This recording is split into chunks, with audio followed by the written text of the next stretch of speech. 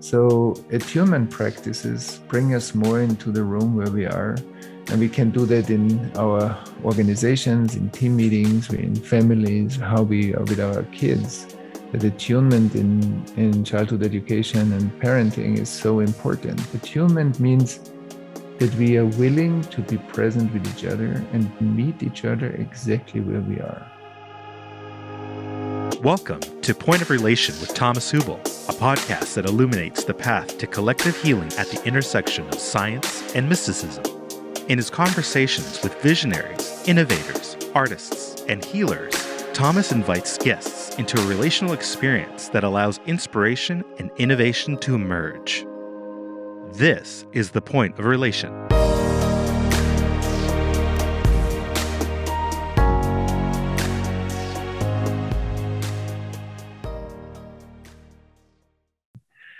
Hello and welcome to Point of Relation, my podcast. My name is Thomas Hübl, and today I want to take you on a journey to explore attunement.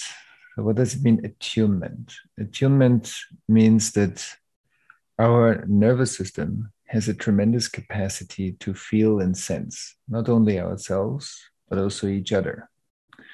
And so attunement starts with attunement to myself so that I begin to explore wow, every one of us has such a rich inner world that starts with the sensations in our body that we can get to know our body much more. We can get to know our emotional systems much more. We can get to know like the, the, the world of our minds and to be much more aware of our thinking or the patterns in our thinking, our belief systems. We can become aware of that which is aware so, and then once we get to know ourselves more, which we also sometimes call self contact or attunement to self, and that's a wonderful function to have available when we when we live in the world because we're kind of much more trained to be with ourselves.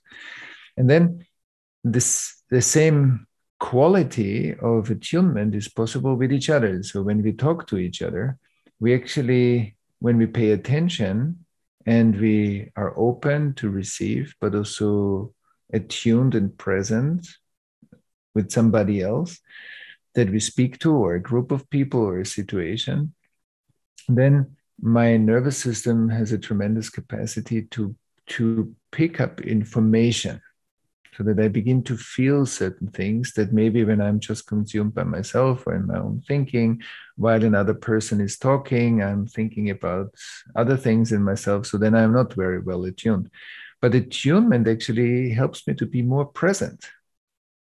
And then I can be attuned. I can feel your body when you speak. I can feel your emotions while you speak. I can feel how what you say and what's happening inside of you is either congruent or not congruent without judging either one of them and so we we come more in touch with that a person is not just a black box that's over there but actually when we attune more we there's a much richer data exchange so we could say relating the relationship that's really happening right now is like a good internet connection.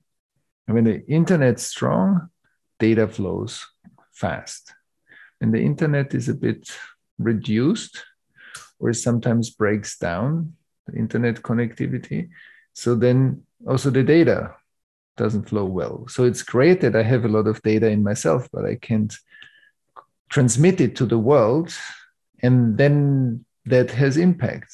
And so the more I can transmit the data, the, the, the potential, the intelligence, the gifts, the skills that I carry inside, I can transmit to the world, the more social agency I will experience uh, and have impact in the world. So attunement is an amazing quality to have more social impact.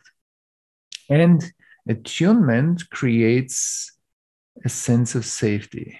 So when somebody is disturbed and the friend of yours i don't know tells you about uh, difficult things they go through when you feel your friend and you attune to your friend your nervous system begins to in a way dance with your friend's nervous system and the other nervous system recognizes that as safety. So feels more held, more met, more felt, more seen. And and that creates much more togetherness and that is also a great support for people that are in distressing moments to ground to find new perspective maybe to see things that they cannot see when they're too stressed and and that's an amazing support because when we practice that in our social networks in our relationships with friends family colleagues we actually begin to create an ecosystem that is more attuned so my attunement begins to spread around me and becomes an ecosystem of attunement because I invite my friends into deeper attunement. It doesn't mean that they have to do it or not, but I am a bigger invitation. And the fact that we create more meaningful, more deep, more intimate moments, connections, that's something that stays with us because I think every one of us knows that when we feel seen and felt, and when we have people that are really present with us, especially when we need it, it creates much deeper friendships, connections, marriages, work relationships, because it creates an ecosystem of attunement. And in that ecosystem, we start to live. And we all know if you live in an ecosystem with toxic water, it will affect everybody that lives in that ecosystem. If we create an ecosystem with more clean water, it will also affect everybody, and it's a healthier ecosystem plus healthier individuals. So it's it's amazing to invest time into this and and build skills and abilities. And and then when we refine it, it's it means that we begin to practice with more and more people and circumstances because that's something I can do all over. It's kind of a relational mindfulness practice. And and it increases the once I feel somebody, then more data can flow. So there's an initial attunement, and then I pay attention. I pay attention to what my body tells me when I feel new. I pay attention to what my emotions tell me. I pay attention, of course, to the intellectual uh, information, and to the relational information. Somebody, when sometimes when somebody talks about difficult things, we feel that the person is more in in themselves. Sometimes when we share, we feel open and connected, and and we don't pathologize these movements because they're important for something in that person's life. Protecting themselves was important, so we don't want to pathologize, and we want to respect that, and hold a space for it, and that creates again more safety, more trust. We don't feel pushed, we don't feel pulled somewhere. We can actually begin to be ourselves and and be in the authentic experience. So that's that's very helpful. And attunement, when we practice it longer, um, also means that we begin to feel and see more. And what I mean by that is that our body is the living record of our lives and our ancestors' lives, and also partly the culture that we grew up in. So, our body is the living hard disk of a lot of information, not just what's happening now, but all the developmental layers that I went through and all the layers that developed beautifully and integrated themselves into a mature perspective on life, but also all the layers that couldn't develop that well. They got maybe hurt, wounded, traumatized, and and they're still living at that age, frozen in time.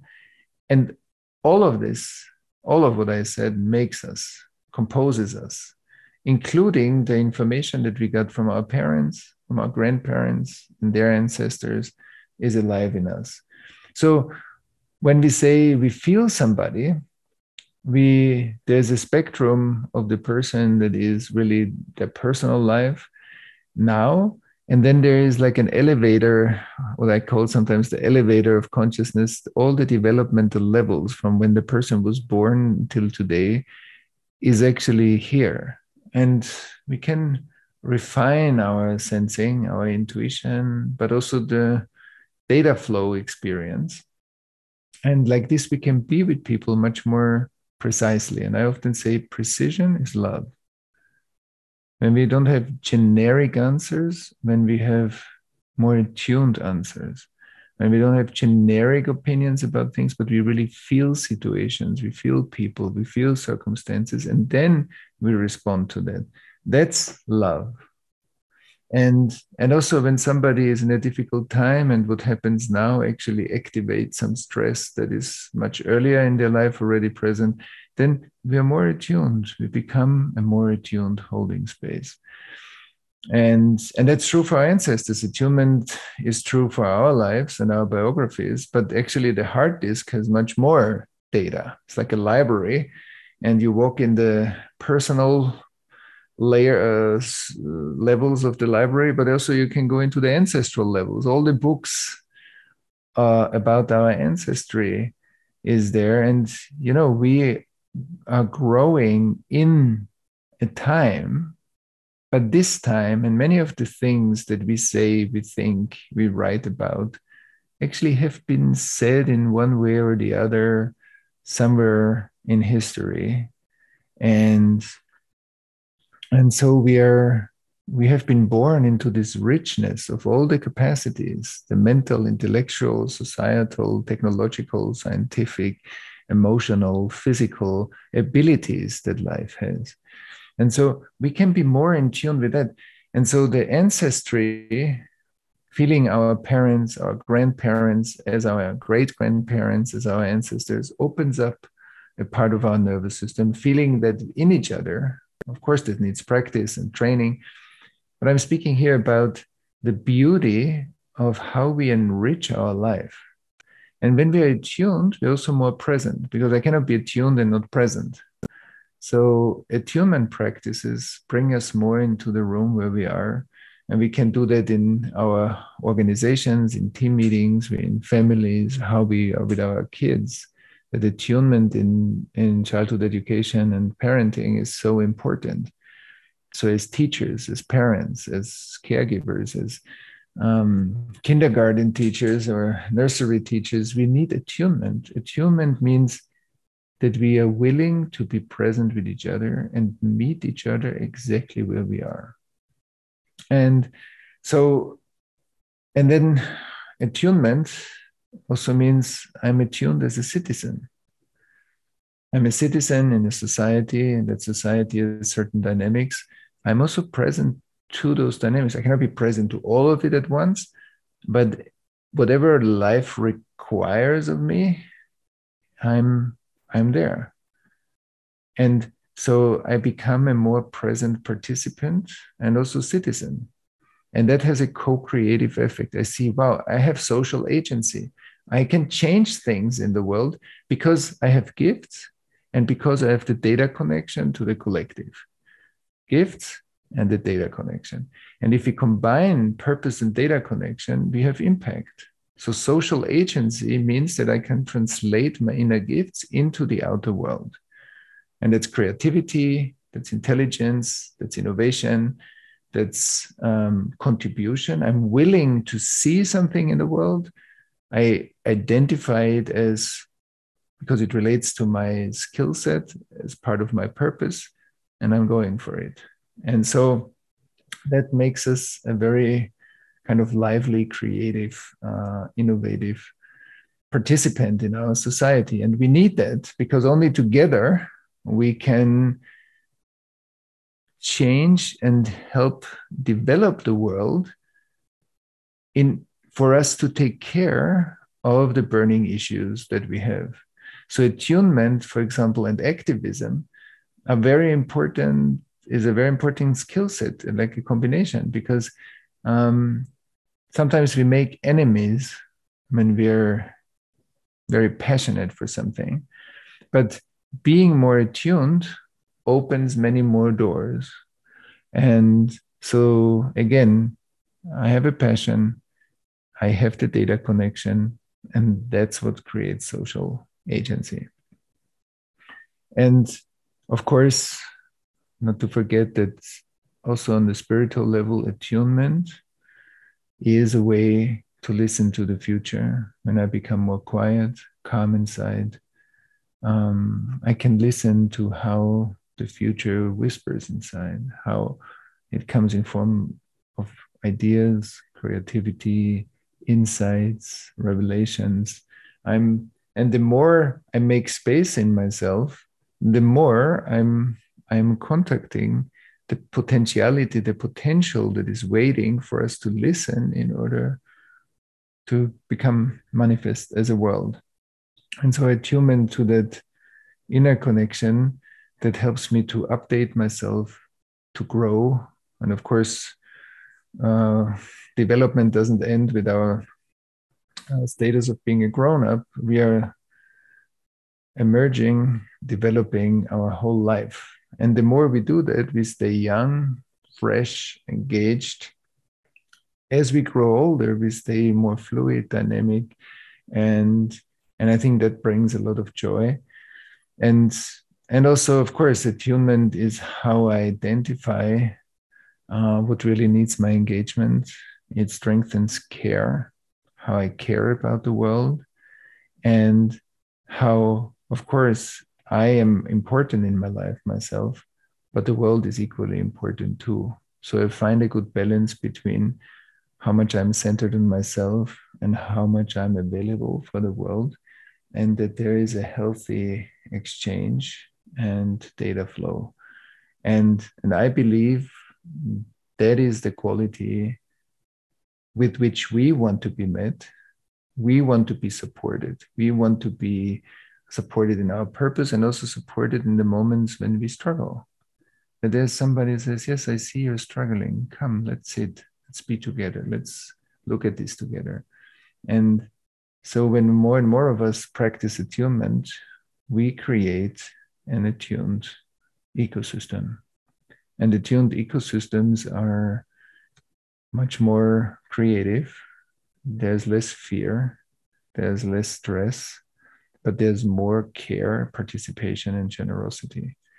And I think that's why practicing deeper attunement is important. And this and much, much more you can also find in my new book. It's going to come out on September 12th. It's called Attuned. And, and I'm sure if you're interested in it, there's a lot of um, great information, practices, and so forth. And yes, let's bring attunement into our life. Let's practice that. That's something that we can start right away with.